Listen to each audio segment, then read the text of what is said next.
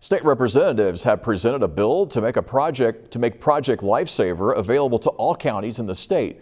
Vigo County's Project Lifesaver helps find the cognitively disabled. Police use a wristband to help those who may wander off, but only 23 counties are being served. State Representative Tonya Pfaff hopes to put this program in place in all 92 counties. It doesn't make sense that if you walk over this imaginary county line, all of a sudden we can't find you. So I think it's so important that if we can help Hoosiers in any way, we should. The bill is still in the approval process in the Veterans Committee.